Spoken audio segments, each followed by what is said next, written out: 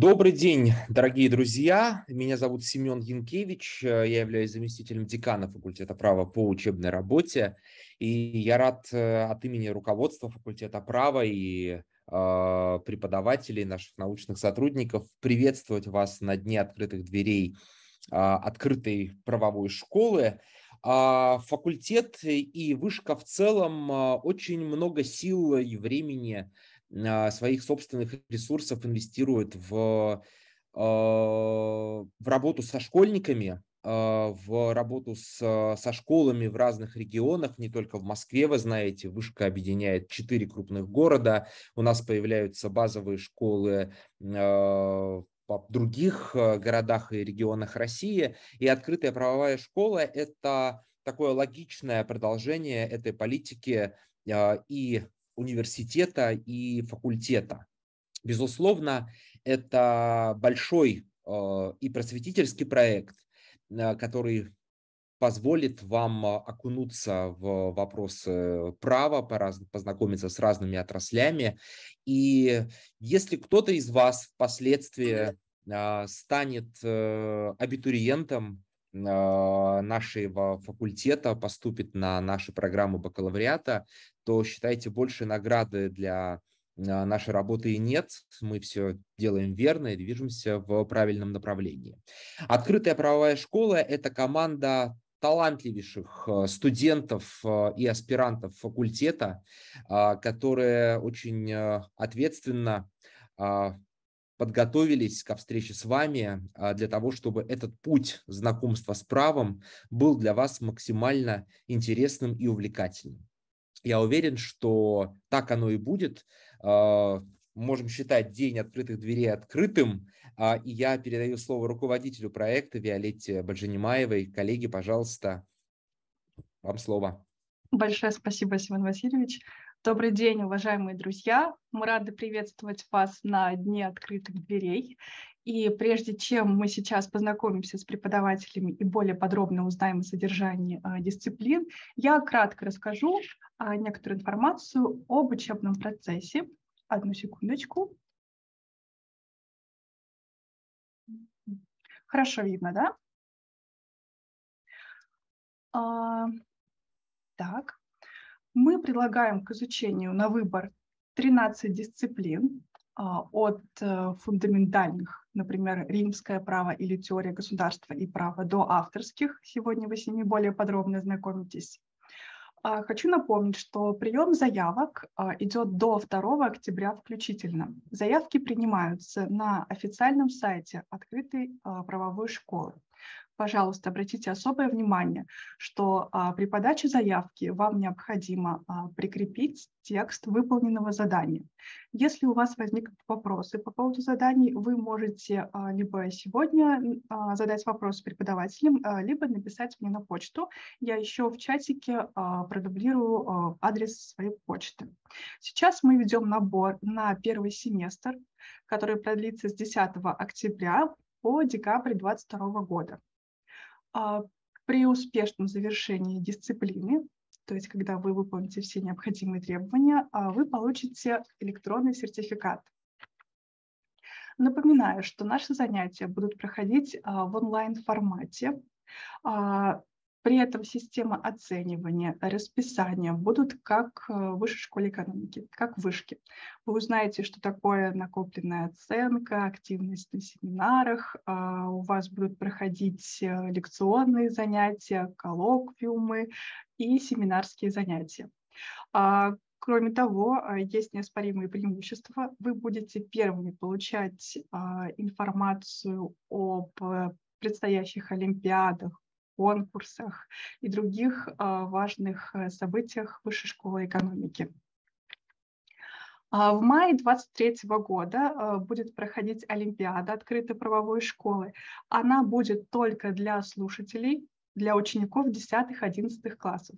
Для того, чтобы принять участие в Олимпиаде, необходимо получить положительную оценку минимум по одной дисциплине.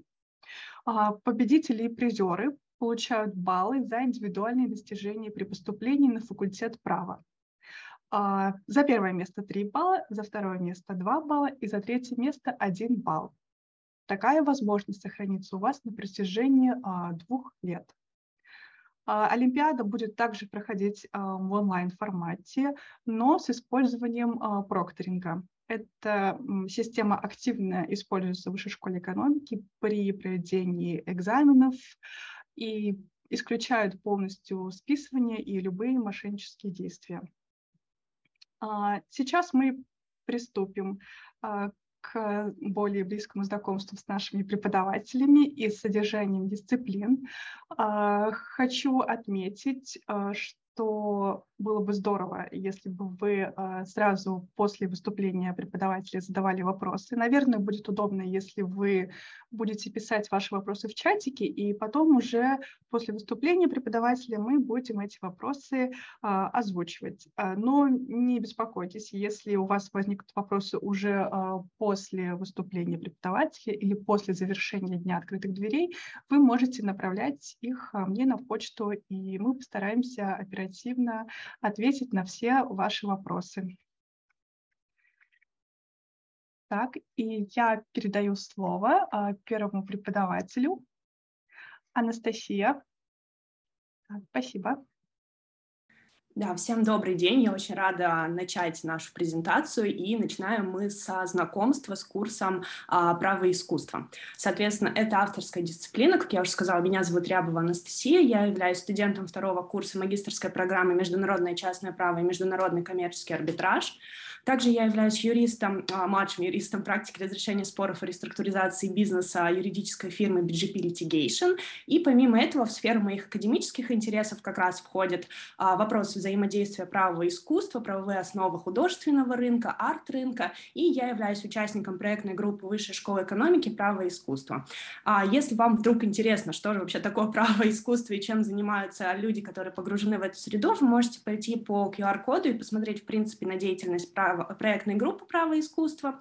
И вот в качестве примера на слайде я как раз а, привожу результат, один из результатов нашей работы. Это был календарь, который сейчас является а, промо-календарем факультета права НИУШЕ и, соответственно, отражает а, в каждом месяце самый значимый приговор в истории.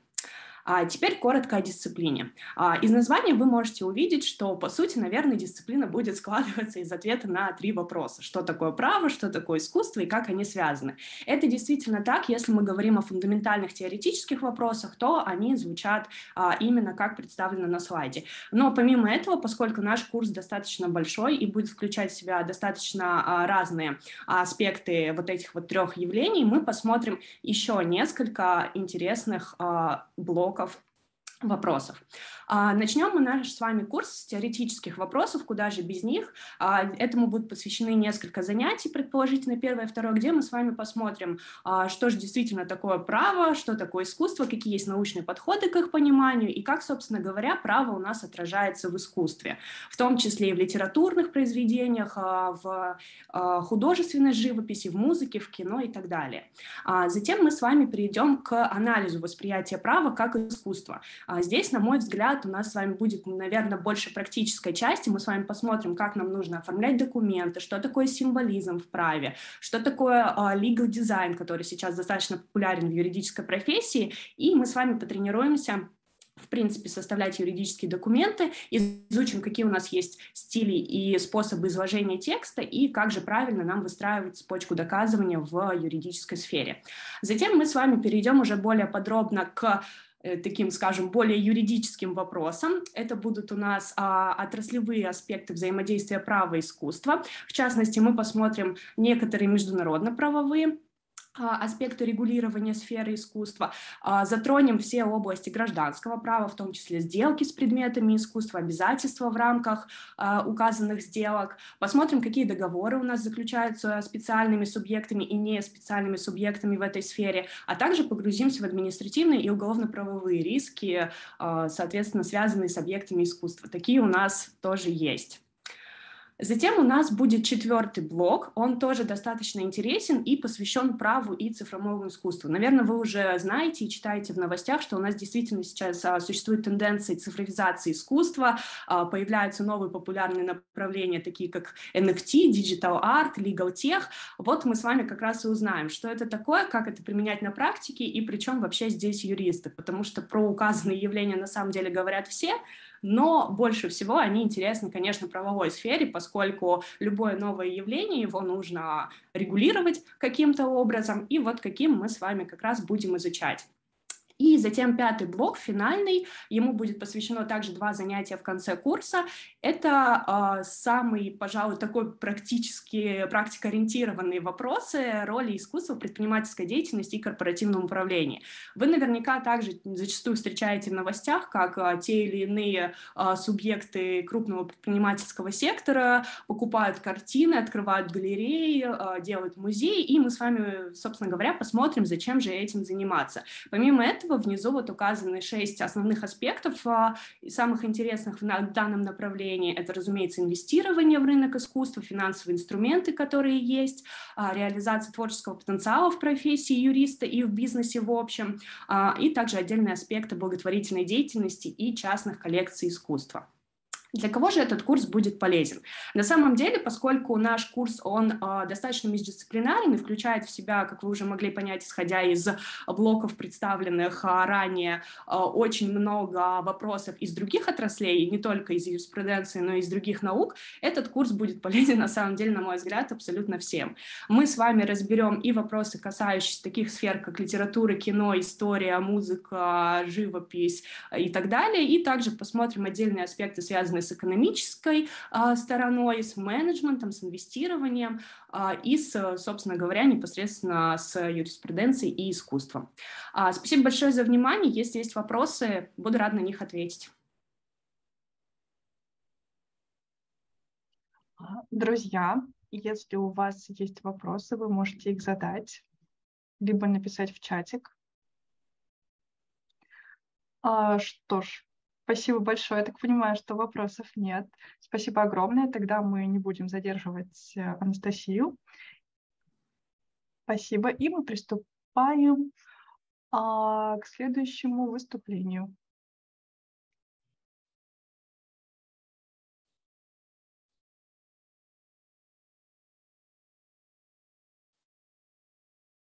А, коллеги, всем добрый день. А теперь настала моя очередь представлять свой курс. Он на самом деле очень связан с курсом предыдущего спикера, потому что он тоже авторский и тоже на достаточно актуальную тему, связанную с новыми технологиями, с цифровизацией и всеми смежными явлениями. Это курс по IT-праву. Давайте для начала я немножко представлюсь. Меня зовут Леонтьева Наталья. На сегодняшний день я практикующий юрист. У меня уже где-то два с половиной года стажа работы, и весь этот опыт, он был как раз-таки в сфере цифрового права. На сегодняшний день я работаю в юридическом консалтинге, и как раз-таки а, практика а, в компании, где я работаю, она непосредственно посвящена цифровому праву. Поэтому все, что я буду рассказывать, основывается на а, реальном опыте, реальных кейсах, которые у меня были, а, не только на теории. Помимо этого, я учусь в вышке на первом курсе магистратуры цифровое право. Здесь у меня тоже все непосредственно пересекается с а, тематикой а, наших занятий. Раньше я тоже училась в вышке, заканчивала бакалавриат, а, выигрывала различные конкурсы по IP-IT, которые мне также помогут рассказать вам что-то интересное. А следующий момент, который хотелось бы проговорить, это зачем вообще идти на курс по IT-праву, будучи школьником. А, казалось бы, вы еще не изучали, может быть, так подробно все даже базовые дисциплины, а тут сразу вам предлагают IT-право. Почему все-таки об этом стоит задуматься? А, если вы заинтересованы в развитии своей карьеры, вы наверняка смотрите на то, какие профессии в будущем будут а, привлекательны, перспективны и иметь шанс на выживание. Наверняка знаете, что сейчас активно говорят о том, что некоторые профессии вымирают, э, уходят в прошлое и не являются актуальными. И вот если вы откроете любой справочник профессий будущего, там, исследования консалтинговых компаний или, может быть, э, рекрутинговых агентств, везде будет что-то фигурировать, связанное с IT. Это будут инженеры в сфере искусственного интеллекта, веб-разработчики, онлайн-менеджеры и так далее. Так что все это соприкасается с цифровыми технологиями. И в юриспруденции происходит то же самое. Если вы немножечко сузите свой поиск и вобьете что-то связанное с будущим юриспруденцией, вы увидите слова про legal tech, про юриста в IT, юриста, который сопровождает цифровые проекты и прочее, прочее. Поэтому это, наверное, та дисциплина, которая сейчас э, имеет э, чуть ли не одно из самых светлых будущих э, в юриспруденции. И если вы задумаетесь о том, чтобы в нее пойти и начнете уже двигаться э, по своему, пусть и самому начальному, но тем не менее карьерному треку со школы, у вас, соответственно, будет достаточно сильное конкурентное преимущество. На нашем курсе мы попытаемся охватить самые ключевые вопросы, которые возникают в юриспруденции применительно к развитию новых технологий. Конечно, будет некоторая вводная тема, да, тема номер один. Далее мы перейдем уже к конкретным аспектам. А, например, рассмотрим, как а, юридически регулируются все сделки в сфере электронной коммерции. Да, то есть то, что вы наверняка уже проделывали сами, заходя на какой-то сайт, оформляя подписку, покупая товар. На самом деле кажется, что все происходит просто, но для права здесь очень много спорных моментов, которые а, заслуживают внимательного обсуждения. Конечно, мы не обойдемся без вопроса интеллектуальной собственности, потому что весь контент, который вы видите в интернете, кем-то создан. Соответственно, на это есть интеллектуальные права.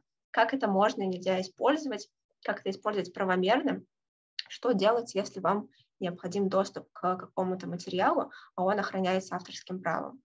Поговорим об обработке персональных данных, тоже одна из самых насущных тем на сегодняшний день о том, как защитить свою приватность, э, как э, отстаивать свои права в этой части и так далее. И поговорим про то, как на сегодняшний день государство пытается регулировать и в чем-то ограничивать поведение участников отношений в сети интернет. На самом деле многим кажется, что интернет — это пространство вседозволенности, но на самом деле в последнее время а, государства все больше пытаются контролировать и подчинять себе а, интернет-пространства. И это мы тоже рассмотрим в рамках моих занятий. Что касается формата, это будет э, смешанный формат, состоящий из лекций, семинаров. На лекции я вам буду давать э, какую-то теоретическую информацию, которая вам понадобится для уже семинарских занятий. А на семинарских занятиях как раз-таки мы будем общаться с вами все вместе. Причем общаться не просто по, может быть, такому скучному формату школьных занятий или каких-то не самых интересных семинарских занятий в вузах. Мы не будем идти по списку вопросов, а преимущественно будем рассматривать конкретные кейсы, которые возникают в цифровой среде, может быть, даже моделировать э, возможные споры, где вы будете представлять ту или иную позицию. А, рассматривать дела, которые действительно были, уже там в судах а, рассматривались и прочее, прочее, выполнять практические задания, которые покажут а, наглядно, что сейчас в, интернет, в интернете происходит и как право на это влияет. Я параллельно с основными занятиями буду вам рассказывать, как можно полученные знания применить а, в рамках а, школьных олимпиад и конкурсов. На самом деле за последнее время достаточно много заданий в олимпиадах по праву, в олимпиадах по обществознанию связаны именно с тематикой регулирования информационных технологий. А на конкурсах проектов, которые в том числе проводят некоторые вышка, другие университеты, очень выгодно смотрятся проекты по тематике цифровых технологий, поэтому о таких мероприятиях я вам тоже расскажу, где-то сориентирую, какие темы интересно взять, интересно посмотреть. Конечно, у нас будут какие-то промежуточные итоговые тестирования, но они не будут составлять э, большую часть э, наших занятий, преимущественно они нацелены на общение, а не на выполнение каких-то, а, опять же, скучных, неинтересных тестов. А чтобы попасть на курс нужно, как уже сказали коллеги до меня, выполнить задание. Мое задание связано с конкретной ситуацией, да, то есть вам нужно представить себя на месте фаундера какой-то социальной сети и понять, какие возможные вопросы у вас возникнут. Здесь я, конечно, не ожидаю того, что вы напишете полноценное юридическое заключение. Мне интересно посмотреть, как вы думаете, поэтому, пожалуйста, не пугайтесь того, что вам нужно какие-то ссылки на законы множественные привозить. Нет, просто расскажите мне, что вы думаете на месте а, героя этой задачки. И я буду ждать ваших э, выполненных заданий и буду ждать вас на нашем курсе. А, всем спасибо за внимание. Если есть какие-то вопросы, я буду рада на них ответить. А, большое спасибо, Наталья.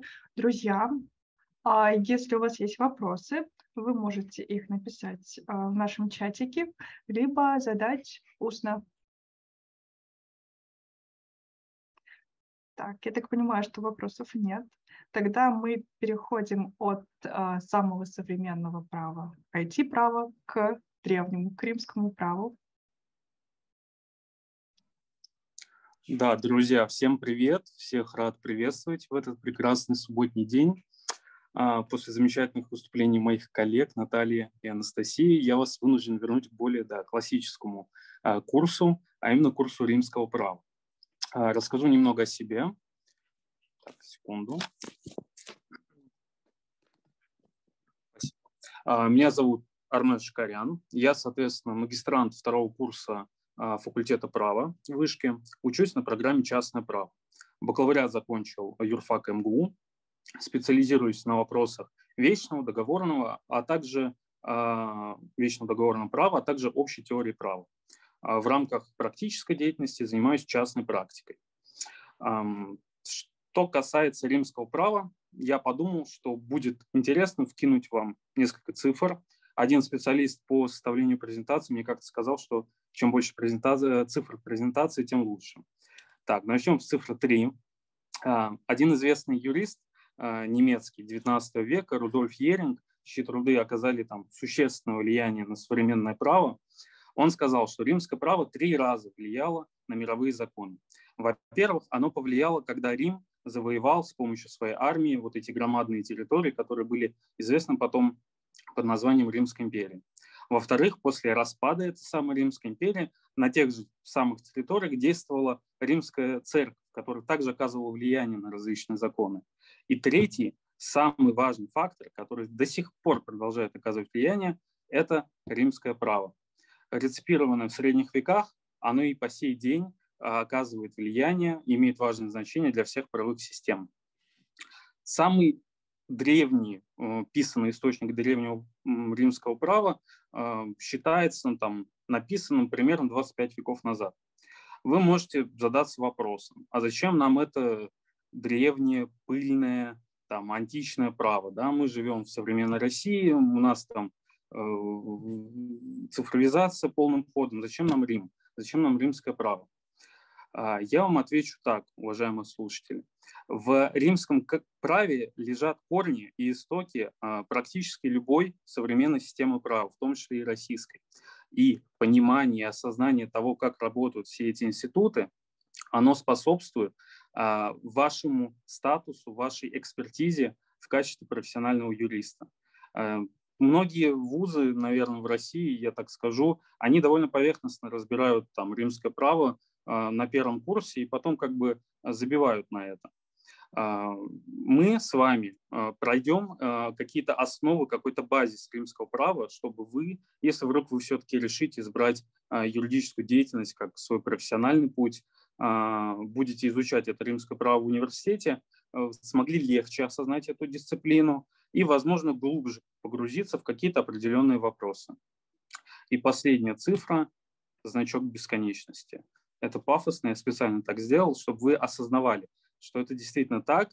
Э, римское право продолжает оказывать влияние на бесконечное количество норм и правопорядков.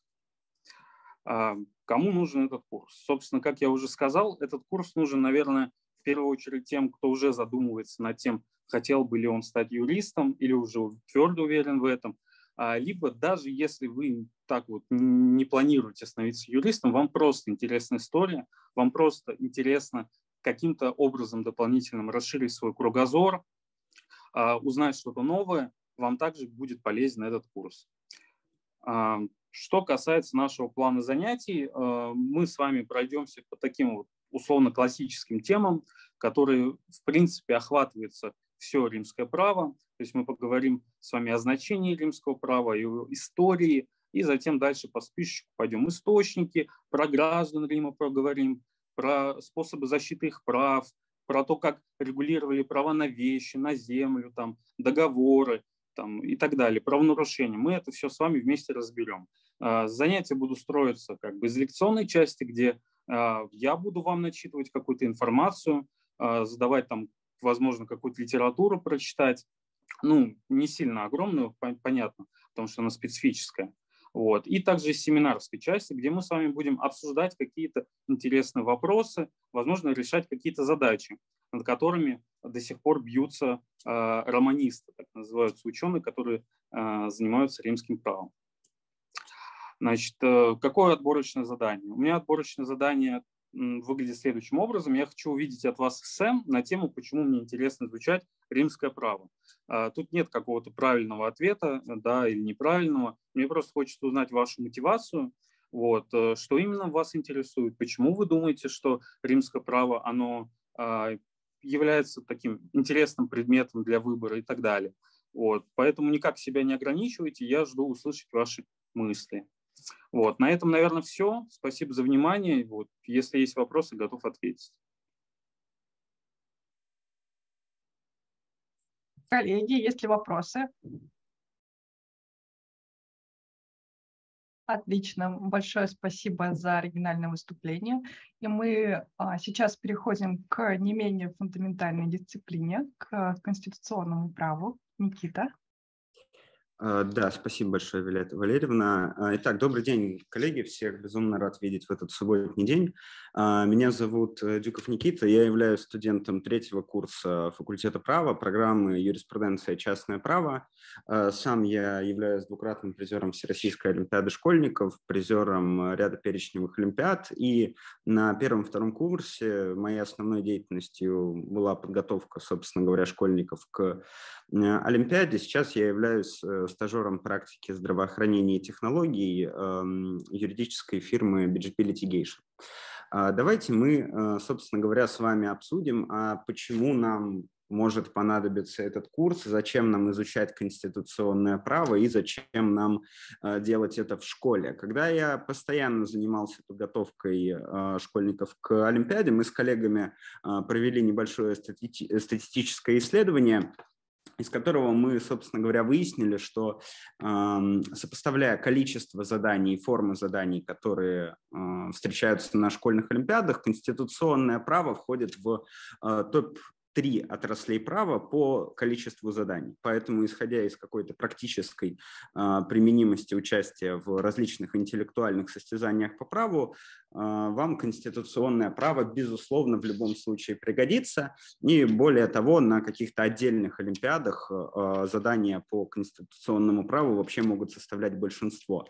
Э, например, на такой олимпиаде, как Олимпиада Ломоносов. Там очень часто встречаются достаточно объемные а, задания по конституционному праву. А, исходя из, собственно говоря, системного понимания права, очень важно а, понять и изучить конституционное право, потому что конституционное право составляет базу всего действующего законодательства, и, в общем-то, все действующее законодательство, оно живет по скажем так, э, тем правилам, которые сформулированы в рамках конституционного права. И э, поэтому для того, чтобы понять какие-то базовые вещи, очень важно разобраться с базовыми институтами конституционного права. А, более того, э, конституционное право еще важно для нашей с вами повседневной жизни, потому что вокруг нас происходит большое количество различных а, процессов, с которыми мы можем там, ознакомиться в новостях или из других каких-то публичных источников. И для того, чтобы понять, собственно, правила игры, по которым это все происходит а, в публично-правовой, скажем так, сфере, Э, важно ознакомиться с э, конституционным правом. А также э, конституционное право закладывает основные начала других отраслей права, и поэтому, когда вы будете разбирать, например, источники той или иной отрасли права, то вы, скорее всего, будете начинать с Конституции, так как Конституция, она закрепляет определенные а, самые важные, базовые, ценностные положения той или иной отрасли права. Там, неважно, это гражданское право или там, уголовный процесс, условно говоря. И также знание конституционного права вам очень поможет на первых курсах э, вуза, а, так как ну, у вас, собственно, будет курс по конституционному праву на первом или на втором курсе юридического вуза, и более того, у вас будут другие базовые курсы, которые так или иначе напрямую связаны с конституционным правом, там, например, судебная власть, правоохранительные органы, там, э, или та же самая теория государства и права, здесь тоже конституционное право достаточно ценно. А, по поводу структуры и программы курса и вступительного задания вы можете ознакомиться с ними на сайте. А, мы будем с вами на лекционных занятиях разбираться с таким нарративным материалом, с а, такими базовыми важными знаниями именно для Олимпиад. На семинарах мы постараемся с вами обсудить именно какие-то интересные проблемные моменты, а не просто пересказывать то, что мы с вами и так уже обсудили на а, лекциях. И форма собственно, вступительного контроля, она тоже на сайте имеется. Вам нужно будет написать небольшое э, эссе по теме «Можно ли обойтись без Конституции?». Тоже я каких-то здесь, как и коллеги, глубоких теоретических изысканий от вас не жду, просто хотелось бы посмотреть на ваш ход мыслей. А если у вас есть ко мне какие-то вопросы, я с удовольствием на них отвечу. Никита, я, наверное, увидела просто общий вопрос от Анны. А в чате какие еще темы, кроме конституционного права, часто встречаются в олимпиадных заданиях? Я думаю, что а, все а, дисциплины, а, которые преподаются в открытой правовой школе, они вам пригодятся при подготовке к олимпиадам. Да, это, это действительно однозначно так, я здесь полностью согласен. Я просто привел статистический такой факт. Уважаемые коллеги, есть ли еще вопросы непосредственно по дисциплине Никиты? Если нет, то тогда мы приступаем к следующему выступающему, который будет преподавать очень-очень интересную дисциплину для несовершеннолетних. Юля? Да, спасибо большое, Виолетта. Итак, дорогие друзья, всех рада сегодня видеть в этот субботний день. Э, меня зовут Мухина Юлия, я буду вести дисциплину «Права, обязанности и ответственность несовершеннолетних». Давайте вкратце расскажу о себе, и вы сразу же поймете, почему я веду эту дисциплину. Я являюсь магистром образовательной программы факультета права, адвокат по гражданским и уголовным делам. А, также я являюсь младшим юристом практики семейного права и наследственного планирования BGP Litigation. Более того, при BGP Litigation создан благотворительный фонд «Юристы помогают детям», где я также являюсь младшим юристом. А, также я выступаю на различных конкурсах, конференциях для студентов и пишу научные статьи. Соответственно, э, именно выбор э, моей э, дисциплины обоснован тем, чем я занимаюсь на работе.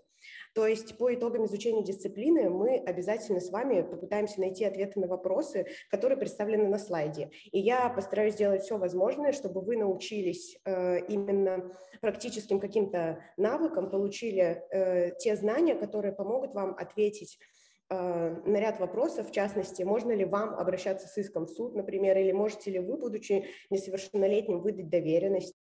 Э, также, э, какие вообще действия следует предпринимать подростку, если, например, его задержали, либо же привлекли к ответственности. Ну и, в принципе, мы изучим с вами такие, ну, выработаем даже, скажем так, такие определенные инструкции действий, там, допустим, если подростка обманули при трудоустройстве или если же там нарушаются какие-то его образовательные права. А, вкратце на слайде приведены основные отрасли права, которые мы затронем по мере изучения курса. Соответственно, а, вы будете так или иначе соприкасаться с семейным, наследственным, гражданским, уголовным, с обоими процессами, как гражданским, так и уголовным. И, соответственно, также мы затронем некоторые аспекты права интеллектуальной собственности, административного права и международного права. Более того, э, я хотела бы обратить ваше внимание на то, что э, весь, все наши занятия, они будут представлять собой непосредственно э, лекции и семинары. Но на лекциях мы будем разбирать именно то, что вам интересно. Поэтому в отборочном задании как раз-таки указаны те варианты, варианты возможные э, кейсов, которые мы будем разбирать на практических занятиях. Именно поэтому я прошу вас их решить, чтобы впоследствии мы уже смогли с вами э, определить те темы и направления, которые будем изучать в большей степени. Закончить свое выступление я бы хотела мотивационной такой цитатой. Э, я сама являюсь выпускницей бакалавриата в МГЮА, и, соответственно, сейчас я учусь в высшей школе экономики, и с каждым годом убеждаюсь все больше и больше, что мы учимся не для школы, а для жизни, и все то, что мы изучаем каждый день на семинарах, на лекциях, пригождается нам. Именно поэтому я хочу, чтобы мой курс также помог вам разобраться э, в каких-то ситуациях, в которых потенциально может оказаться каждый из нас, и чтобы он всегда знал, как ему действовать. Если у вас есть какие-то вопросы, буду рада на них ответить. Большое спасибо, Юля. Уважаемые коллеги, а, если вопросы к Юле, вы можете их задать устно или написать в нашем чатике.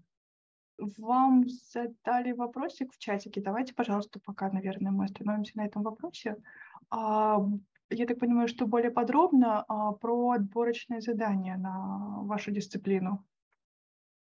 Да, конечно. Спасибо большое за вопрос. Соответственно, если говорить про отборочные задания на мою дисциплину, то там э, три основных задания, которые представлены на, на сайте. Значит, э, в первом задании предполагается, что участники выбирают какую-то ситуацию и пишут свою точку зрения, причем выбор ситуации зависит непосредственно от э, участника. Можно от конкретного, там, например, студента потенциального, который будет учиться у нас в открытой правовой школе. Можно выбрать задание как по уголовному праву, по семейному, гражданскому, э, Соответственно, второе задание, оно представляет собой э, кейсы, которые нужно решить. Там также есть три кейса на выбор. И еще одно задание, которое представляет собой вопросы, на которые нужно просто дать небольшой красненький развернутый ответ. Э, для чего это задание? Для того, чтобы я понимала, на что мы будем больше уделять внимание, каким отраслям мы будем отдавать предпочтение на наших занятиях, чтобы более э, практикоориентированно построить этот курс именно для ребят.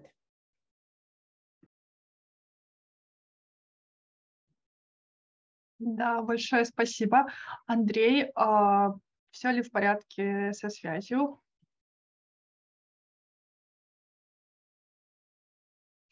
Так, давайте, наверное, мы тогда перейдем к Ольге. Тогда, э, или Андрей, сможете сейчас выйти на связь? Так, давайте попробуем, возможно, стало лучше. Давайте. Потому что это какая-то напасть неожиданная э, со всех сторон. Давайте еще раз попробуем включить презентацию. Да, я надеюсь, хорошо слышно и, и презентацию видно. Да, да, все хорошо. Прекрасно. Да, тогда еще раз с самого начала я еще раз говорю, что моя дисциплина, опять же, она чуть более классическая, называется на международное частное право и международный арбитраж, но при этом она еще и не менее прикладная из ее определенной важности. Э, с чем, собственно, дисциплина связана? Она будет посвящена исследованию вопросов и скажем так, рассказываю вам вопросов того, как работает международная торговля. Да, сейчас, наверное, стало чуть меньше в последнее время, но так или иначе это всегда было основой. И коллеги, которые, допустим, изучают римское частное право и которые будут это делать на курсе, подтвердят, что в целом право во многом строилось и раньше, и сейчас на том, как строятся международные отношения среди э, лиц, которые занимаются коммерческим оборотом, бизнесом, проще говоря. Вот. А, и то, что я буду давать на этой дисциплине, оно направлено на то, чтобы показать вам, как э, взаимодействуют между собой как люди, так и различные компании, государства, собственно, в рамках международного оборота, а, продажи товаров трансграничного и тому подобное. А, курс будет состоять из двух основных частей. Собственно, первое – международное частное право, это чуть более, наверное, нормативная и теоретическая вещь. А, мы попробуем здесь поговорить немножко про историю развития международного частного права, потому что на самом деле с точки зрения того, какой вклад несла Россия в становление этого предмета, он, наверное, даже огромен, а, поскольку в том числе именно в России а, появились первые теоретические работы об основывающих применения норм международного частного права и разработка в целом теории всей этой.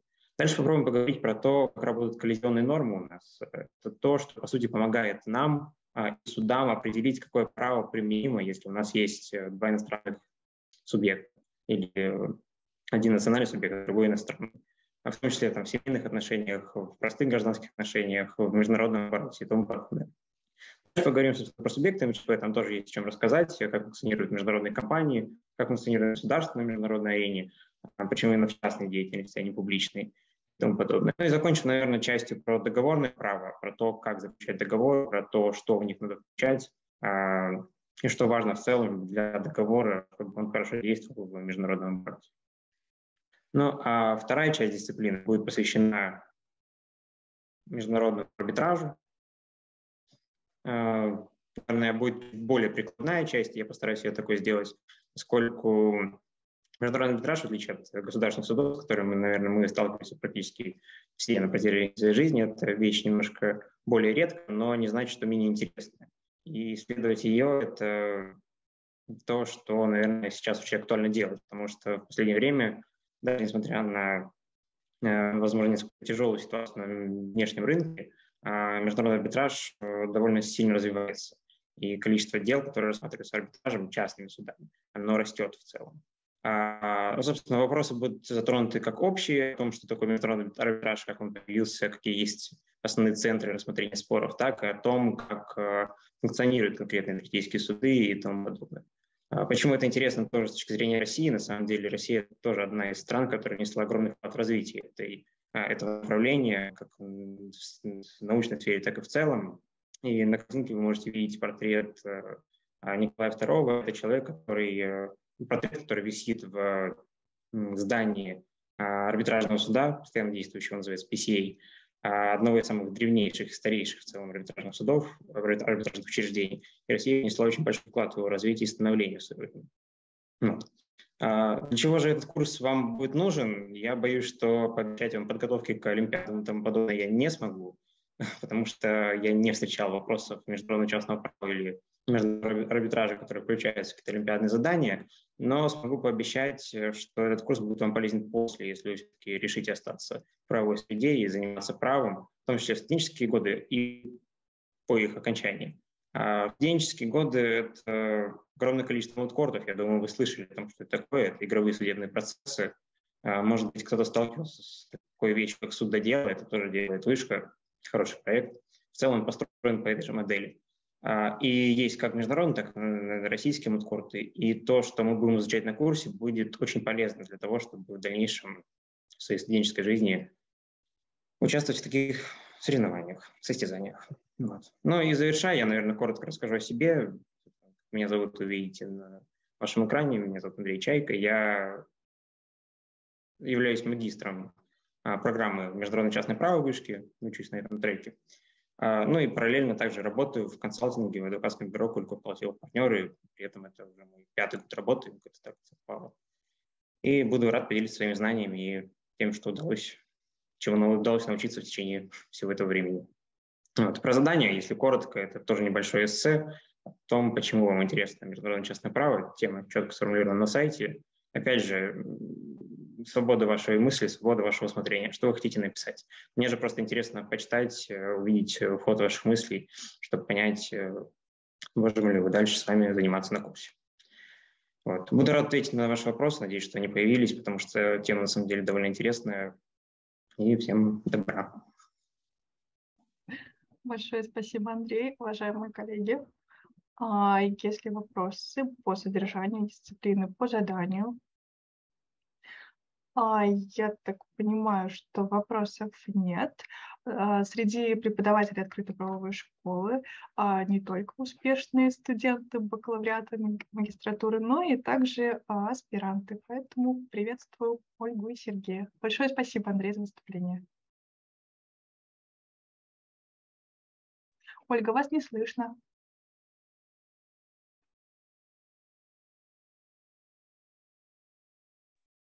Все, теперь слышно. Да. А, добрый день еще раз. Я представляю дисциплину, которую мы будем а, преподавать а, вдвоем вместе с аспирантом факультета права Департамента международного права Сергеем Коротковым.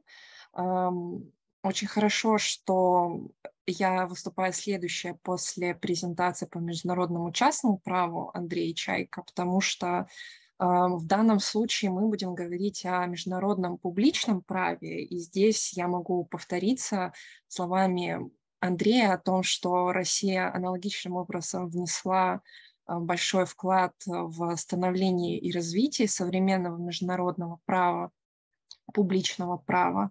И на наших занятиях мы также постараемся разобраться в том числе в аспектах того, как субъекты международного права, а именно государства, классические субъекты и международные организации взаимодействуют с, с друг с другом, в том числе в рамках торговли, но именно на основе правил международного публичного права, а также как международное публичное право относится к таким субъектам, как те же транснациональные корпорации или индивиды.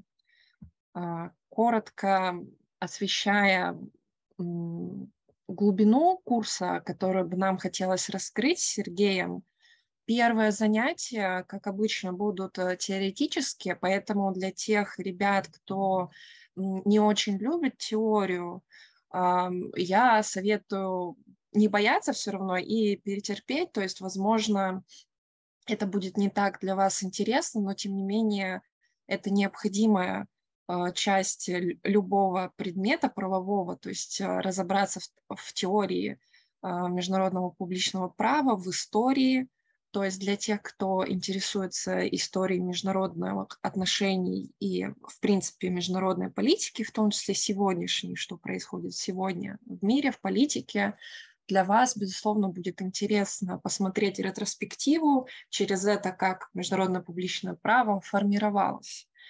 А, собственно говоря, международное право регулирует отношения в основном между государствами и международными организациями, как субъектами международного права. И мы будем смотреть, а, собственно, на основе чего эти отношения существуют, а именно посмотрим на основные источники международного права, такие как международный обычай и международный договор.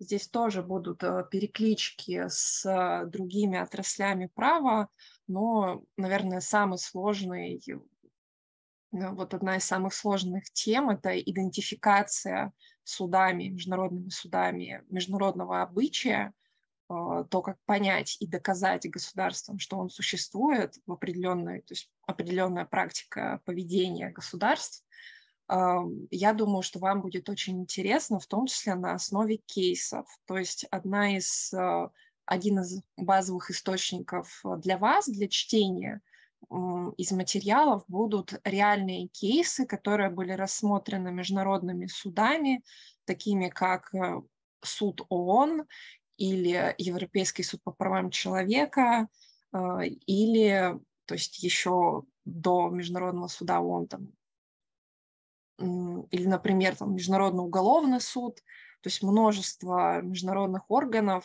э, которые выносили судебные решения в отношении стран, в том числе Российской Федерации. А, также мы посмотрим на то, как работают международные организации, в основном на примере ООН, но также затронем и другие системы региональные – например, Совет Европы. И в частности, какие есть э, возможности у индивидов защитить э, свои права, э, если на государственном уровне этого не получается сделать, а, а также какие есть механизмы у государств привлечь к ответственности другое государство и что нужно для этого сделать. Ну и, наконец, э, мы затронем э, право безопасности, один из основных принципов, то есть э, ограничение применения силы, закрепленное в уставе ООН, о том, как он работает, какие есть ограничения и как работает международное гуманитарное право, или, иначе говоря, право войны мне кажется, тоже в сегодняшних условиях очень актуальная тема. А, курс подойдет для, я бы даже сказала, не обязательно ученикам старших классов, то есть если вы интересуетесь историей, обществознанием, международных отношений, вам в любом случае эта дисциплина будет интересна, только, возможно, будет сложновато с точки зрения источников, потому что сложный юридический язык и часть источников на английском языке, но я все равно призываю не бояться, и, потому что для вас это будет большой рост. Даже если в будущем вы не будете заниматься международным публичным правом, э, для общего развития это очень важно для понимания того, как работает современная политика, на, на каких правовых основах она работает. Ну и также э, Джессоп, который упоминал Андрей, то есть один из крупнейших и старейших мудкортов, э, по, также по международному публичному праву, это база, которая вас э, потом откроет для двери для многих не только международных организаций, работать в международной организации, но и частных фирм, других мудкортов, которые также будут использоваться нормой международного публичного права, но и других корпораций юридических, которые оказывают услуги в сфере частного права. Ну и, наконец, эм, немножко про нас. Эм, Сергей, поскольку сейчас учится в магистратуре американской юридической, у него разница во времени, и вот он, к сожалению, не сможет присутствовать, э, сейчас не присутствует, но э, вы можете посмотреть информацию на сайте. Кратко могу рассказать, что он еще уже аспирант факультета права, и опыт работы у него непосредственно связан с международными организациями, например, такими как Юниситрал или Гонконгский арбитражный центр и Международный торговый центр при ВТО. А, меня зовут Ганина Ольга. Я тоже закончила бакалавриат и магистратуру факультета права по праву международной торговли, а также ездила по обмену учиться в университет Хельсинки.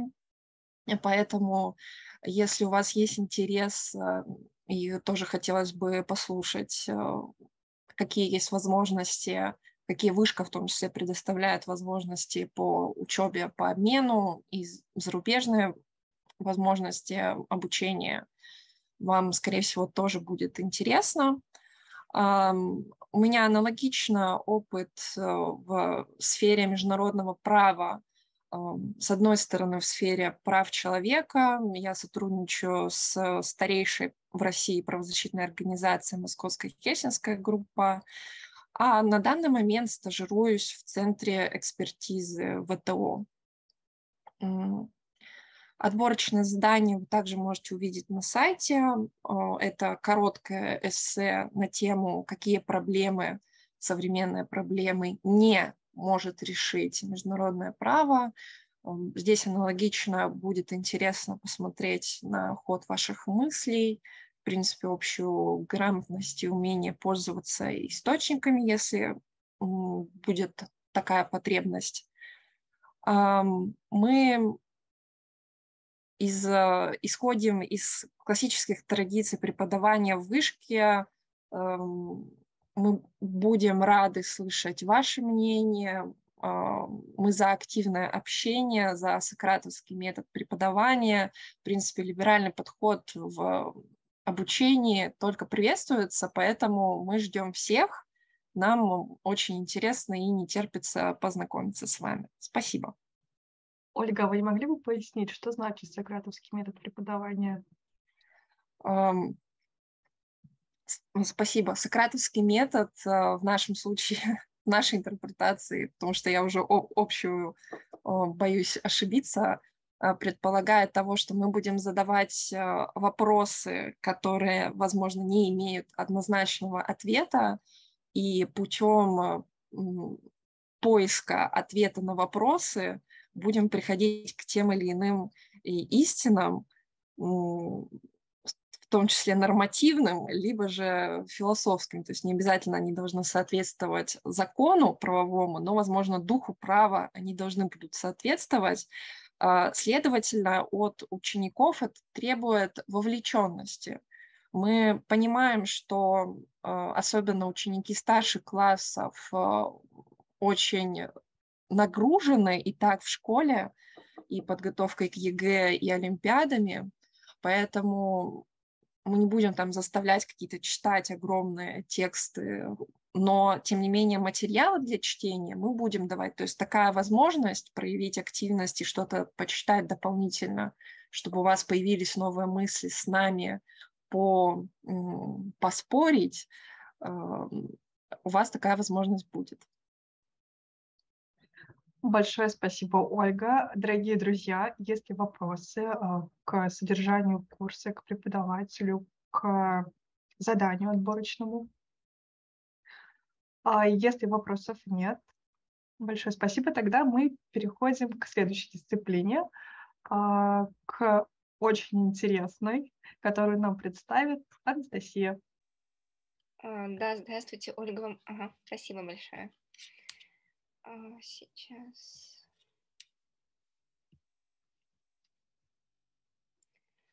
А, всем еще раз добрый день.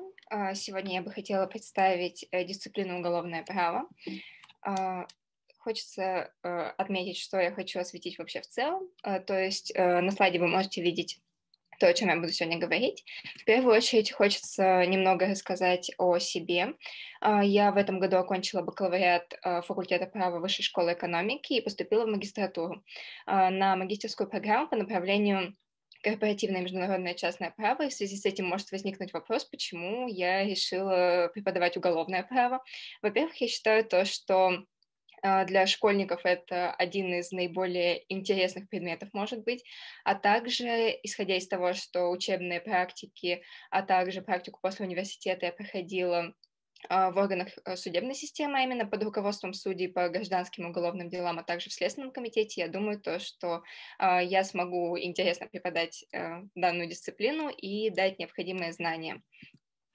Также хочется ну, э, обозначить, что вообще, в принципе, такое уголовное право, я думаю, э, все уже имеют э, базовое представление о том, что такое уголовный кодекс, что такое э, преступление. Э, тут необходимо подчеркнуть то, что в курсе уголовного права изучается преступность, наказуемость деяний, также уголовная ответственность, а также те наказания, которые могут назначаться, как происходит освобождение от уголовной ответственности, от наказаний. А, и также хочется сказать о том, что Уголовное право представляет собой две части, общую и особенную.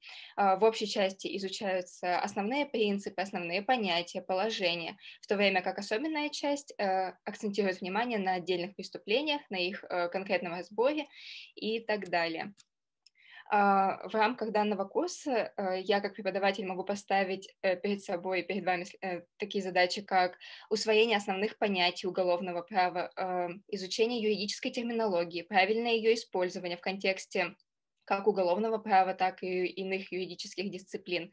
А, также я считаю очень важным научиться анализировать конкретные практические ситуации, а, но это невозможно без анализа и точного понимания норм права. Поэтому я считаю то, что э, в данном курсе э, э, необходимо получить комплексное представление как об отрасли права уголовном праве, так и об основных юридических понятиях, концепциях в целом. Также я считаю то, что для данного курса будет очень важно научиться основам проектной работы и командной работы, так как это пригодится вам как в дальнейшем обучении, так и в профессиональной деятельности, которая вас вскоре ожидает. А, что касается программы курса, вы с ней можете ознакомиться на сайте, но я хочу отдельно выделить то, что вначале мы рассмотрим основные э, понятия уголовного права, задачи, принципы. Далее мы перейдем к понятию преступления и уголовной ответственности, э, рассмотрим составные части преступления, э, основания назначения уголовной ответственности и так далее. Э, далее нами будет отдельно рассмотрены, рассмотрен блок назначения наказаний, виды наказаний, что может быть, э, э, какой ответственности может привлекаться лицо за совершение преступления. И э, в качестве последнего блока мы рассмотрим э, принципы освобождения от уголовной ответственности и от наказания. Э, что я планирую э, привнести в данном курсе? В первую очередь это теория. Ее будет действительно много, но я постараюсь сделать так, чтобы основную теорию э, рассказать в, рамке, э, в рамках курса лекций, э, в то время как на семинаре я планирую акцентировать внимание на решении каких-либо правовых задач, изучении практических ситуаций. Э, в рамках курса уголовного права это одна из базовых вещей. Э, также я считаю, что очень важно в рамках данного курса научиться э, формировать собственное мнение по конкретным э, проблемным вопросам. Э, также я считаю то, что данный курс должен быть интересен, поэтому в качестве отдельных видов заданий я планирую разработать творческие задания, также групповые работы и художественные материалы, которые мы будем с вами анализировать. Э, что касается оценки, э, вы можете видеть ее на слайде. Э, в рамках курса она я подробно расскажу, что вас будет ожидать, но основные формы активности это, конечно же, устные ответы, решение задач. А у вас также будут небольшие домашние задания и творческие. Я прекрасно понимаю, как э, все будут загружены, особенно в старших классах. Э, моей целью является не загрузить вас еще больше, а дать вам действительно полезные навыки, э, которые пригодятся вам как при сдаче экзаменов, так и для участия в каких-либо олимпиадах по праву или в иных сферах, которые вы выберете. И что касается итогового контроля, это будет э, максимально приближенный экзамен э, к тому, что ждет вас в университете. Это будет устный опрос в виде теоретического вопроса и решения правовой задачи. А, что касается задания, э, вы также можете с ним ознакомиться на сайте. А, я привела для вас правовую задачу по уголовному праву. И, конечно же, я не ожидаю от вас э, точного указания статей, норм права. Э, мне интересно посмотреть на ход ваших рассуждений и э, то решение, к которому вы придете. Э, на этом у меня все. Спасибо за внимание. Я готова ответить на ваши вопросы. А, большое спасибо, Анастасия. Да, коллеги, обращаем внимание, что мы прекрасно понимаем, что вы можете и вы не обязаны знать а, конкретную статью и норму. Действительно, при выполнении всех заданий наибольшее значение для нас имеет именно а, логика ваших рассуждений. Это самое главное. И если есть вопросы к Анастасии и к очень интересной дисциплине уголовное право, вы можете задать или написать их в чатике. Если вопросов нет, то тогда мы переходим к другой а, важной и тоже фундаментальной дисциплине, к теории государства и права. И эту дисциплину представит Антон. Большое спасибо, Анастасия. Так, э, меня слышно, да? Да, слышно, видно, да, все хорошо. А, коллеги, добрый день. Сейчас Естественно, меня зовут э, Антон, я студент э, четвертого курса бакалавриата ИУВШ. Я буду преподавать э, дисциплину теория государства и права.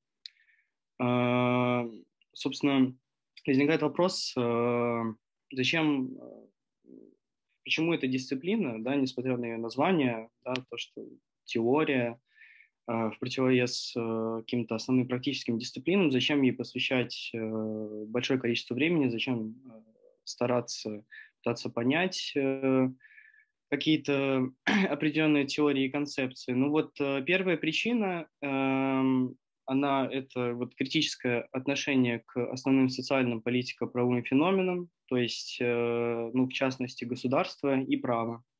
То есть мы будем учиться задавать вопросы, как сформировалось современное государство, что это вообще за институт, каким образом он функционирует, а, каким образом устроено современное право и возможно ли какие-то а, альтернативные э, концепции права, существовали ли они и так далее. То есть в целом мы будем ставить под вопрос э, существующий вот миропорядок, под вопрос его естественность с помощью уже разработанных э, теорий.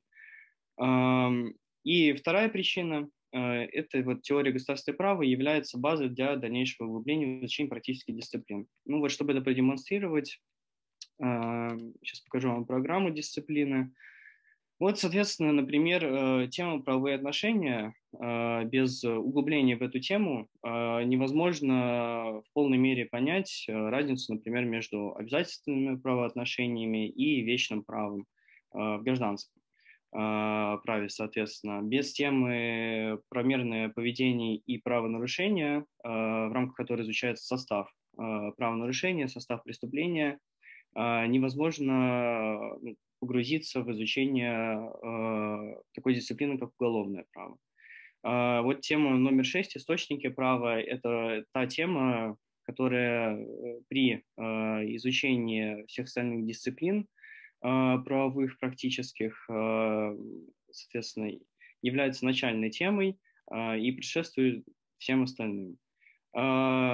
Первый раздел у нас будет посвящен, опять же, теориям права, там, социологическая, психологическая, позитивистская теория права, естественное право.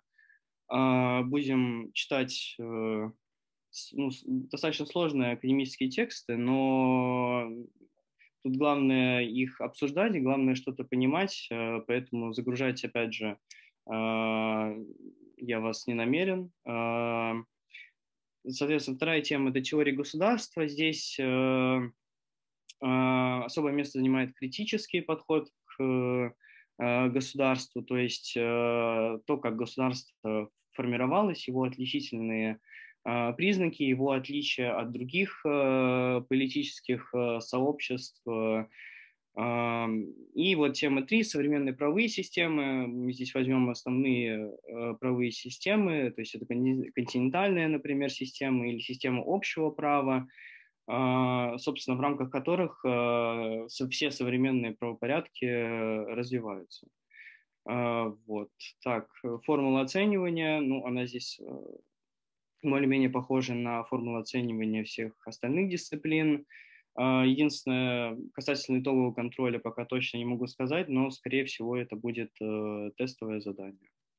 А, спасибо за внимание. Да, и вот э, еще касательно а, задания, да, которое вы должны написать для того, чтобы поступить вот на этот курс, вы должны поразмышлять на тему, что такое право, каким образом право регулирует э, поведение людей. А, здесь тоже я от вас э, не ожидаю каких-то а, там, сложных теоретических конструкций. Просто хочется увидеть э, ваши мысли по этому поводу. Ну и, собственно, все. До, до скорых встреч.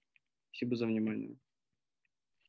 Большое спасибо, Антон, за выступление.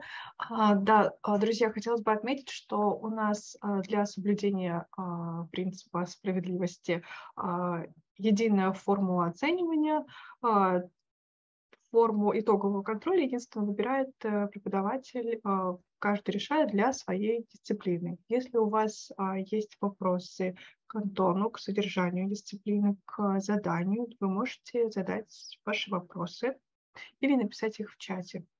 Если нет, большое спасибо, Антон. Тогда мы а, переходим к следующей дисциплине, которую представит Дарья. Здравствуйте. Здравствуйте. Спасибо большое.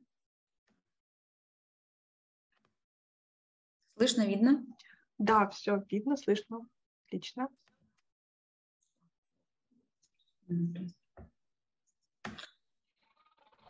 Я буду преподавать такую дисциплину, как э, организация адвокатуры. И для начала я бы хотела рассказать о себе.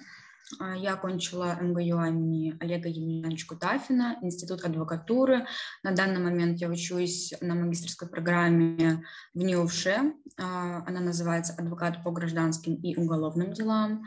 Я занимаюсь практической деятельностью с третьего курса. С четвертого курса я стала работать помощником адвоката, в дальнейшем уже стажером адвоката по уголовным делам и работаю судебным представителем, то есть судебным юристом в юридической компании, консалтинг.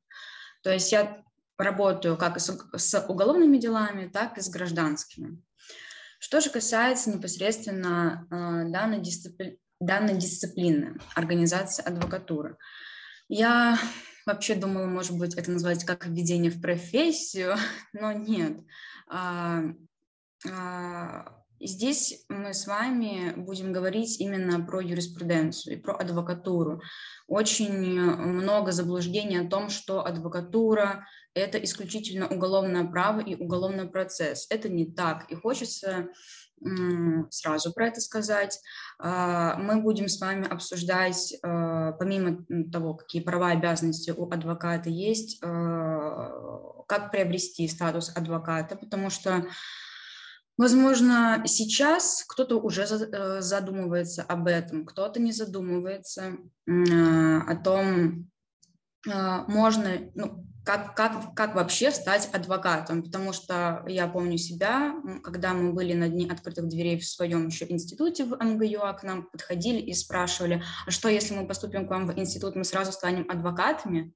Вот как раз а, этот предмет о том, а, чтобы рассказать, что такое адвокатура, как стать адвокатом, что не нужно делать, чтобы лишиться этого статуса адвоката.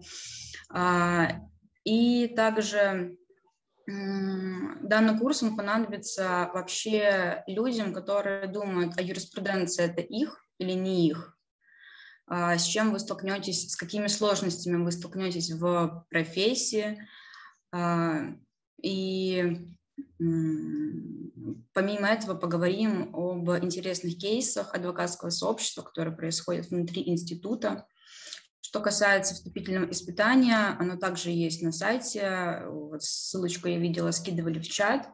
А, у меня это эссе на две возможные темы, то есть это не обязательно по двум писать, которые там указаны, а по выбору. А, первое – это кто такой адвокат и что я думаю о профессии адвоката. Нет никаких ограничений вообще. Я очень демократична и хочу услышать студентов – у вас есть право голоса, право выбора. А, если вдруг здесь кто-то выберет в дальнейшем мой предмет, на первом занятии я сразу буду спрашивать, что бы вы хотели изучить, что бы вы хотели узнать, чтобы э, те знания, э, те сведения, ту информацию, которую вы получили, она была для вас в первую очередь э, необходимой, ту, в которой вы бы сами нуждались. По поводу э, оценивания, уже сказали то, что оценивание у всех э, одно по данным дисциплинам. И все. Большое спасибо, Дарья. А, уважаемые коллеги, есть ли у вас э, вопросы к преподавателю по содержанию дисциплины или по заданию? Нет. Если нет вопросов, тогда мы идем дальше. Большое спасибо, Дарья. А, Софья.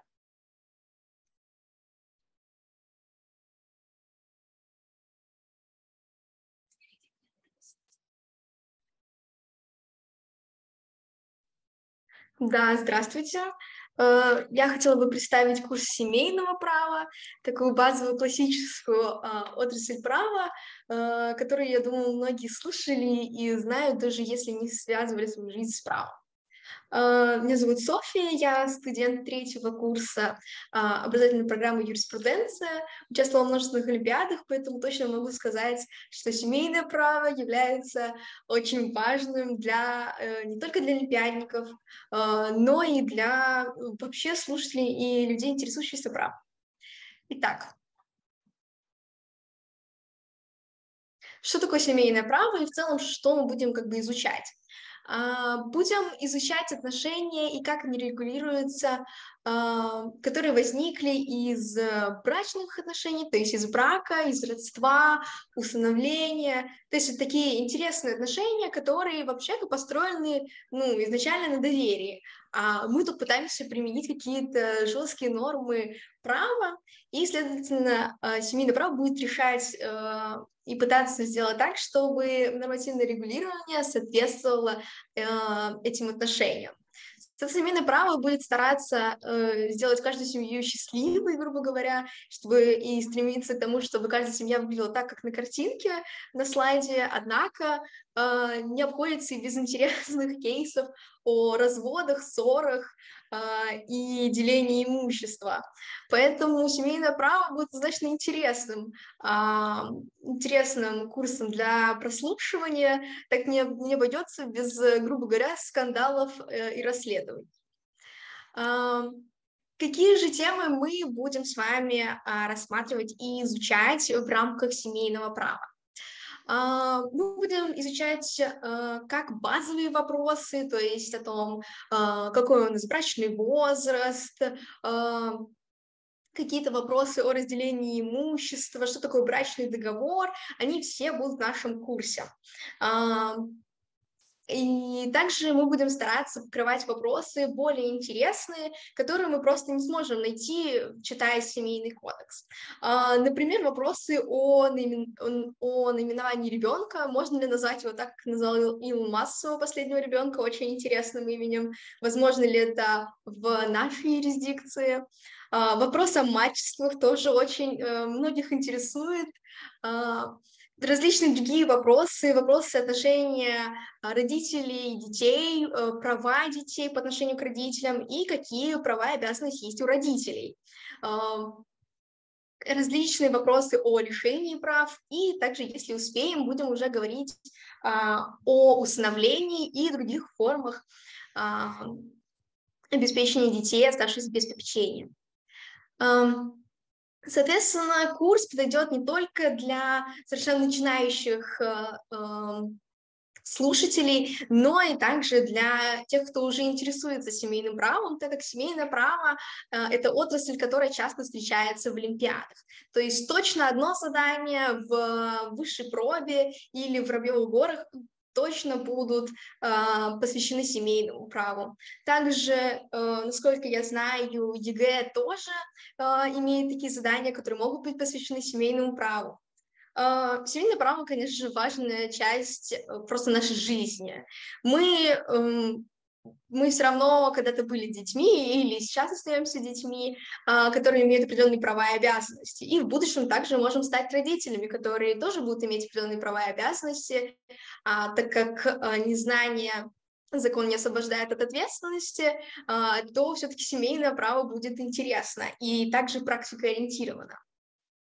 Uh, наш формат обучения будет больше основываться на лекционном семинарских занятиях, однако uh, хочу сказать, что семинары будут наполнены uh, решением различных задач и довольно-таки головоломных задач, которые вы не сможете найти ответ прямо в статье. Мы будем стараться применять максимальную логику, пытаться применить наши знания на практике. Хотела бы прокомментировать а, вопросы, которые у нас есть для а, отборочного этапа. А, вам представлены три вопроса, можете выбрать два из них. Пытайтесь отвечать максимально кратко, однако соблюдая свою логику. То есть если здесь основным критерием будет ваша логика и представление вашей аргументации. Однако не расплывайтесь, так сказать, сильно в своих умозаключениях и не стоит уходить в философию. Также я бы вам рекомендовала использовать и не бояться использовать какую-то нормативную базу. То есть если вы загуглили и нашли э, какую-то статью, которая вам кажется в Семейном кодексе, которая вам кажется интересной и стоит ее э, вставить в свой ответ, то дерзайте, используйте ее, это будет вам только в плюс. Ну и, соответственно, на некоторые вопросы можно ответить как бы правильно, и за правильность ответа тоже будет какое-то вознаграждение. А, с нетерпением жду на вашем, э, с нетерпением жду вас на моем курсе. Если есть вопросы, то я была бы очень рада на, них ответить. Большое спасибо, Софья. Дорогие друзья, если вопросы к преподавателю по содержанию дисциплины, по заданию отборочному? Спасибо. Если вопросов нет, тогда мы идем дальше. И сейчас познакомимся с Беллой. Белла, вы на связи? Да, да. да Извините, вас плохо слышно. А, сейчас. А сейчас как слышно? Да, вроде лучше. Спасибо большое. Спасибо. За Здравствуйте еще раз. А,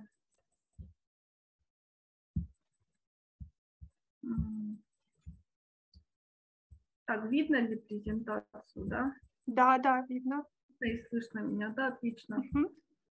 А, а, в общем, я, меня зовут э, Медоева Белла Константиновна, я аспирантка факультета права, э, Высшей школы экономики, Департамент теории права.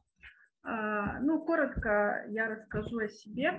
Э, я являюсь э, выпускницей финансового университета при правительстве Российской Федерации, бакалавриат, магистратура, юридический факультет. Э, далее я поступила в аспирантскую школу на департамент теории права в Высшей школе экономики. Работаю над диссертацией кандидатской. Также я проходила а, повышение квалификации, стажировки э, в э, Парижском университете в Сорбонне, э, юридический факультет.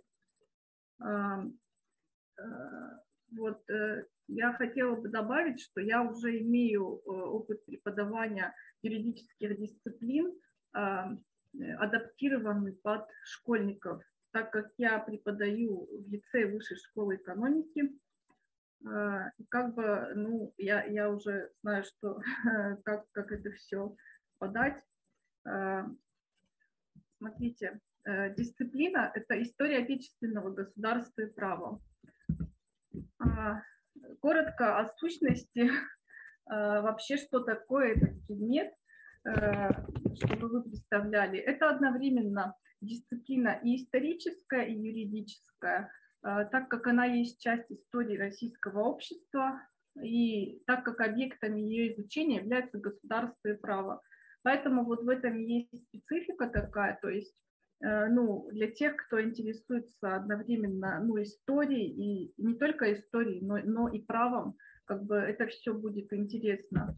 А, смотрите, а, что входит в предмет. Это изучение возникновения, развития и смены типов э, и форм государства и права, также государственных органов и правовых систем конкретных государств, народов нашей страны в определенные исторические периоды.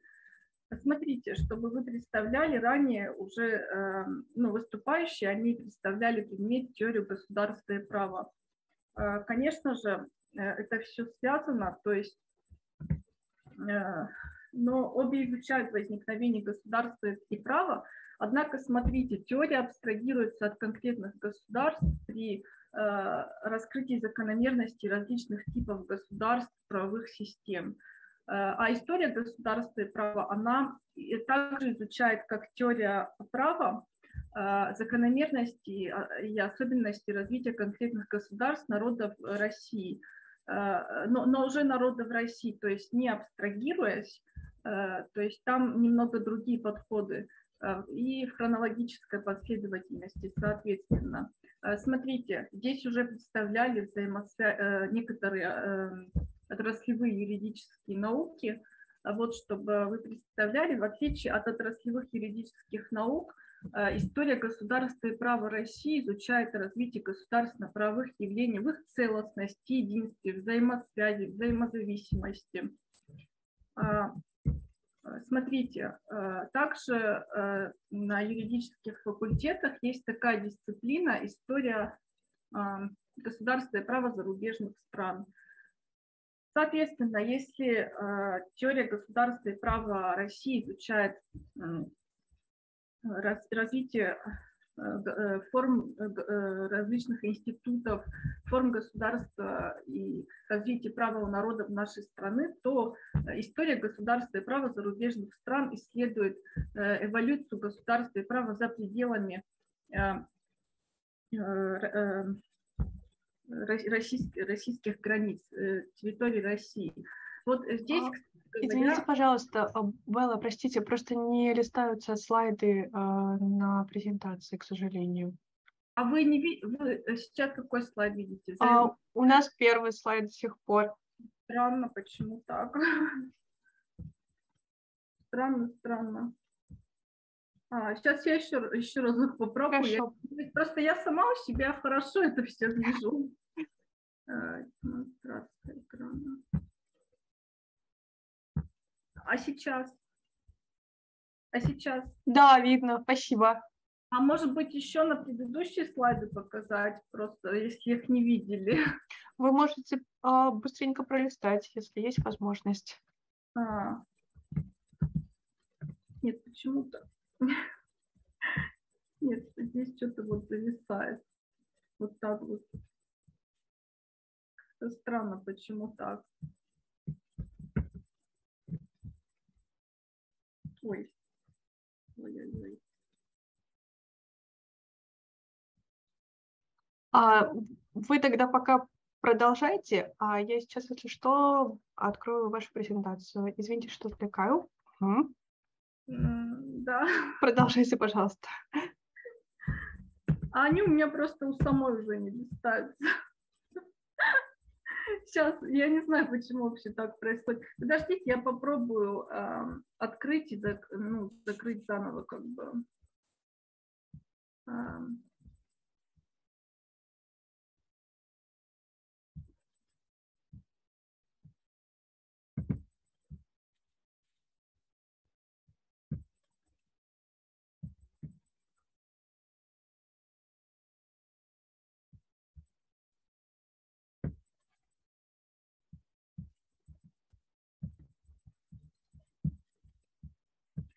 А если вот так смотреть не не в полноэкранном масштабе, то видны слайды все? Да, вроде видно. А, тогда я не буду просто в полномасштабном. Хорошо, спасибо.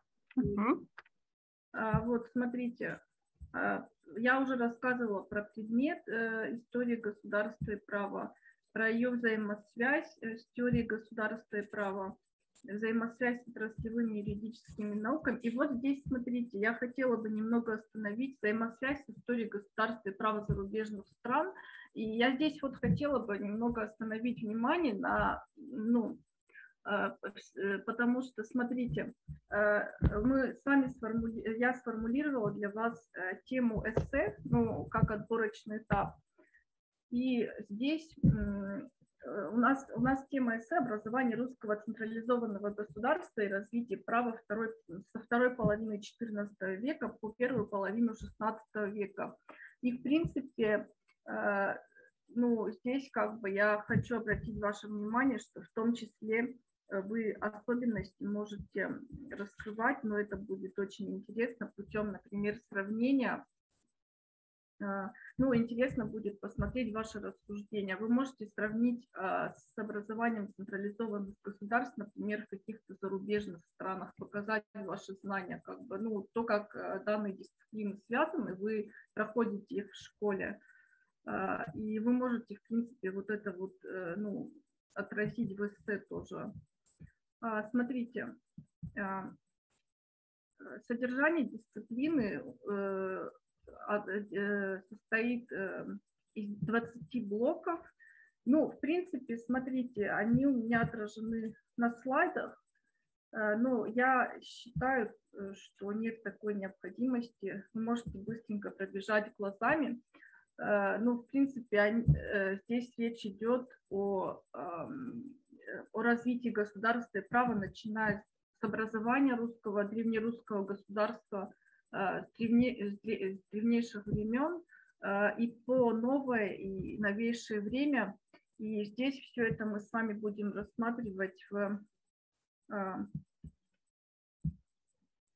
хронологической последовательности уже. Вот мне хотелось бы отметить, что ну, я уже упоминала, что история государства и права относится к фундаментальным юридическим дисциплинам, так же как теория государства и права, например, э, и ей принадлежит э, одно из ведущих мест в системе юридического образования, э, так как она является дисциплиной фундаментальной. И также изучение данного предмета нам позволит вообще, в принципе, оценить современное наше государство и право и вообще прогнозировать его развитие. То есть смотрите, а, и ну, мной разработана собственная методика преподавания дисциплины. Это касается как э, представления материала уже, а также вот каких-то форм контроля, ну, промежуточных, например, адаптированная под восприятие школьников. Как я уже упоминала, я э, преподаю юридические дисциплины у школьников э, и как бы, э, имею опыт такого преподавания, представления материала. Ну, рассказывать об этом очень подробно мы в любом случае сейчас все это не успеем. Спасибо большое за внимание. В принципе, у меня по основным моментам каким-то все. Если у вас остались какие-то вопросы либо по теме эссе, э, либо э, ну, просто по дисциплине, э, можете спрашивать, либо писать мне потом на почту. А, да, друзья, если у вас в дальнейшем возникнут а, вопросы по какой-либо дисциплине, а, вы можете написать, а, например, мне на почту, я оставила а, адрес в чате, и я обязательно передам ваш вопрос а, преподавателю. А если к Белле а, нет вопросов, тогда мы а, переходим к финальной а, дисциплине гражданское право. Белла, большое вам спасибо. Спасибо. Спасибо. Коллеги. Да, одну минуту. Здравствуйте, коллеги. Здравствуйте. Так, презентацию видите? Да, все хорошо видно, слышно. Отлично. Так, теперь на полный экран. Так, прекрасно. В общем, здравствуйте, коллеги, еще раз. А, мы как раз завершаем сегодняшний день открытых дверей и представляем вашему вниманию дисциплину, которую мы будем преподавать вместе с коллегой Анастасией а, под названием «Гражданское право». Итак, ну давайте тогда Настя представится, потом я представлюсь для того, чтобы мы уже приступили к раскрытию того материала, который мы будем преподносить и преподавать вам. Настя, тебе слово тогда. Да, спасибо, Тимур. Меня слышно же, да, надеюсь? Да. А, меня зовут Анастасия, я студентка четвертого курса образовательной программы юриспруденция. А, ну, также я достаточно продолжительное количество времени участвую в различных олимпиадах и имею большой опыт э, в плане подготовки именно к олимпиадам, но также у меня есть э, опыт подготовки и к ЕГЭ, и к также отдельной подготовки к олимпиадам школьников. Тимур, продолжи, пожалуйста. Хорошо, тогда я тоже кратко представлюсь, но на самом деле, по-моему, информация о нас уже есть на сайте, но тем не менее, кратко. А, я являюсь выпускником МГЮА. В прошлом году я окончил Институт бизнес-права с отличием, и в прошлом же году я поступил в Высшую школу экономику на программу магистрского адвоката по гражданским уголовным делам.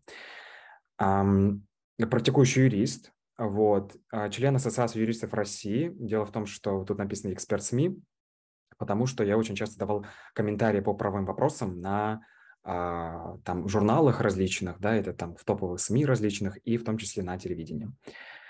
И плюс еще являюсь преподавателем а, правовых дисциплин, ну, в онлайн-школах различных, а, и также имеется опыт а, в подготовке к ЕГЭ по истории, по обществознанию. Поэтому в этом плане формат взаимодействия и общения у нас вот с Настей, он имеется. Поэтому Давайте приступим к существу, так сказать. Итак, дисциплина, которую мы будем преподавать и вести, называется гражданское право.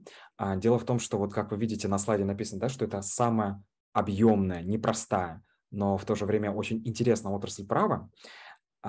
И по своей так вот практике, когда я учился и когда я в том числе там общался с учениками, я понял, что все-таки там большое количество пересдач возникает вот по этому предмету или же по, к примеру, гражданскому процессу. А почему? Потому что очень много всего. А, предмет объемный, предмет очень важный а, и является, ну, таким вот э, хлебом для большинства юристов, скажем так, да, это сердцевина, наверное, а сердцевина всех, а, сердцевина права в том плане, что а, большое количество гражданских дел как в судах общей юрисдикции, так и в арбитражных судах. Но если мы так, таким образом говорим, что этот предмет такой какой-то большой, объемный, да, и так далее и тому подобное, это никоим образом не означает, что а, этот предмет невозможно освоить, или же мы вас настраиваем к тому, что мы будем настолько там, ну, выражаясь там современным языком, душнилами, а, которые а, сделает там все для того, чтобы вам предмет не понравился. Мы, наоборот, будем а, стараться, по крайней мере, мы будем стараться делать так, чтобы вы слышали о праве простым, доступным языком от нас, а, и вы понимали, что с правом вы соприкасаетесь каждый день. Даже когда просто приходите в магазин, там, покупаете обычную там, жвачку, хлеб, вы, по сути, совершаете да, юридические действия, а, которые там порождают, изменяют или прекращают правоотношения различные. И вот с этой точки зрения как раз-таки мы будем смотреть. Мы будем смотреть на то, как, как это право работает в жизни. Не только как это в идеале в теории устроено, да, но как это применяется в жизни. Ну и, конечно же, Тут еще написано, что где могут понадобиться знания. Знания могут понадобиться, понятное дело, как в школе для подготовки к ЕГЭ по блоку права в обществознании. Знания могут пригодиться в универе при поступлении, там, при вступительных испытаниях. Они могут понадобиться при написании олимпиад различных и так далее. Поэтому, если вы сейчас начинаете изучать ну, или знакомиться с правом, да, то это очень хорошая возможность для того, чтобы прокачать свои знания на вот э, таком классном проекте. Настя, тебе слово. Да, спасибо. Э, на этом слайде вы можете увидеть наш план занятий. Но это план занятий на наше ближайшее полугодие. Э, в следующем полугодии у нас будет уже другое расписание. Э, итак, первая часть нашего учебного курса состоит из общих положений о гражданском праве, как, например, вот введение в гражданское право, гражданские правоотношения, то есть базовые институты, базовые понятия с вами изучать, в том числе общую часть обязательственного права, также основа собственности. А, Все это даст нам возможность в следующем полугодии изучать отдельные виды обязательств, то есть договоры, также наследственное право и право интеллектуальной собственности. Тимур? Угу, угу. Да, вот как сказала Настя, мы, понятное дело, вот темы здесь у нас, насколько я помню, на первое полугодие, да, то есть вот на семестр, скажем так. Вот. И то, что Настя говорила там про право интеллектуальной собственности, остальные, это получается там во втором полугодии. Занятия будут идти целый год, и, в общем-то говоря, это будет полноценная такая ну, квази-универская жизнь, да, квази-универское такое обучение, получение образования – потому что более-менее приближенные варианты будут. Но при этом вы поймите, что с нашей стороны не будет каких-то жестких санкций в виде там э, несдачи экзаменов или в виде отчислений или в виде, да, ну, всех этих санкций, которые существуют. Но это не означает о том, что, к примеру, ничего не нужно будет делать. Да? Мы будем стараться, чтобы занятия проходили интерактивно.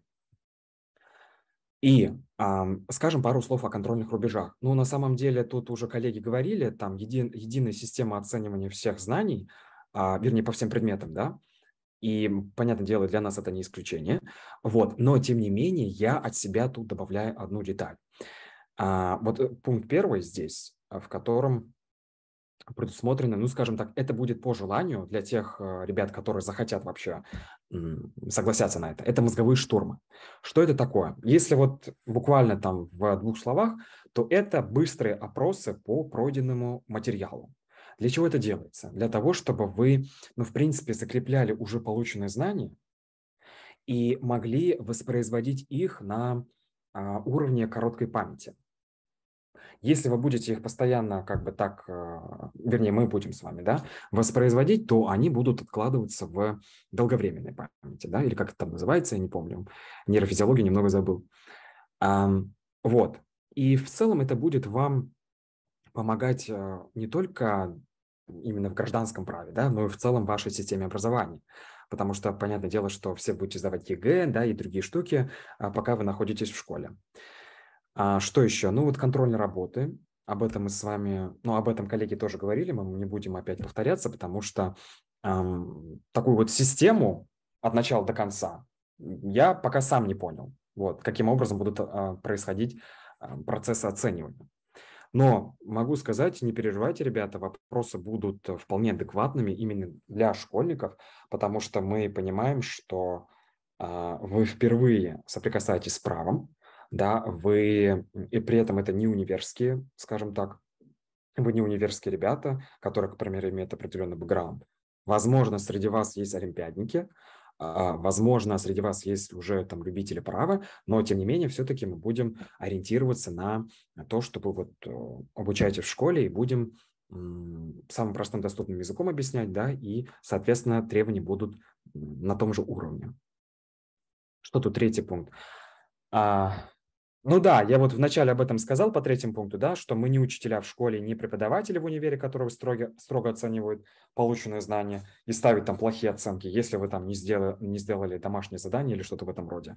Кейсы у нас будут, то есть у нас будут кейсы, у нас будет очень интересная судебная практика. Мы будем смотреть э, на право с точки зрения того, как это работает или как это закреплено, по крайней мере, в законе, как это работает на практике, как толкуется это различными судами, потому что где-то там нет однозначного мнения у судов, да, до тех пор, пока это дело не дошло до Верховного суда, но иногда это доходит до Верховного суда, но все равно мнения судов разнятся. Об этом тоже будем говорить. Ну, про доктрину, конечно же, еще.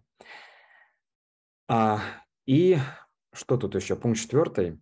Об этом в самом начале э, нашей презентации я сказал, но отмечу еще раз, что гражданское право то отрасль права, которая является самой объемной, большой, сложной, но очень интересной отраслью права, мы постараемся рассказать простым языком а, и расскажем на примерах, что все-таки вы соприкасаетесь с правом, несмотря на то, что каждый день, да, там совершая обычные мелкие сделки каждый день, и будем, будем рассматривать, как, к примеру, не знаю, каким образом а, смотреть на норму права, каким образом регулировать, скажем так, отношения, которые возникают между вами и другими третьими лицами, и решать кейсы при желании, да, смотреть практику, изучать, ну, в общем, в каком-то таком а, вайбе все это будет проходить. На этом у нас, по-моему, все, да? Ну да, у нас все на этом. Да, но я также хотела бы отметить, что для нас главной целью является то, чтобы у вас появилось понимание того, как работает гражданское право, как, как есть институты, как эти институты работают, и понимание, самое главное для нас, того, чтобы, того, чтобы вы понимали суть того, какие есть институты и что это из себя представляет. Спасибо большое за ваше внимание. Спасибо вам, коллеги. Да, приходите, ждем всех на гражданском праве. Будем всех рады видеть. Большое спасибо, а, коллеги. А, друзья, есть ли а, вопросы к преподавателям, к содержанию дисциплины? Если вопросов нет, тогда мы завершаем День открытых дверей открытой правовой школы школы. А, я еще раз благодарю всех присутствующих и напоминаю, что прием заявок у нас проходит до 2 октября включительно. А занятия у нас начнутся 10 октября. А, заявки необходимо подавать на сайте Открытой правовой школы факультета права и обязательно прикрепить выполненное задание. Было очень много вопросов по поводу заданий. Хотелось бы отметить, что не нужно пугаться. А, Еще раз повторюсь, а, для нас важное значение имеет именно а, логика ваших рассуждений. Это в первую очередь. Мы всех ждем. Если у вас возникнут вопросы, я продублировала почту. Моя почта также указана на сайте открытой правовой школы, поэтому вы можете смело писать, мы постараемся ответить. Если у вас также будут вопросы к преподавателям, вы тоже можете мне написать, и я обязательно передам а, ваши вопросы. Большое спасибо, друзья. А, ждем всех с удовольствием. До встречи. До свидания. До свидания. Спасибо, до свидания. До свидания. До свидания. Спасибо, всего доброго.